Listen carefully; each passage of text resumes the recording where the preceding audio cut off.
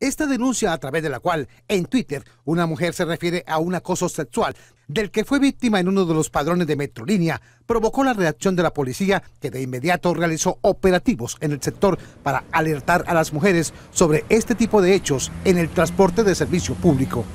Disponemos de servicio de policía en las diferentes estaciones, pero también en algunos buses estamos ingresando hombres y mujeres policías de inteligencia para identificar a estos delincuentes. En su cuenta de Twitter, la mujer denuncia que un hombre la amenazó con un cuchillo y durante varios minutos tocó sus partes íntimas sin que nadie en el transporte público se diera cuenta o se alertara de la situación.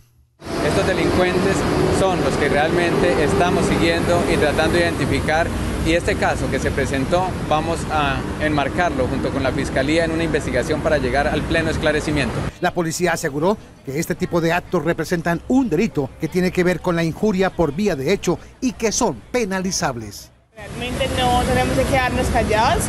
de que no estamos solas, de que pues podemos contar con el apoyo de, de la policía en este caso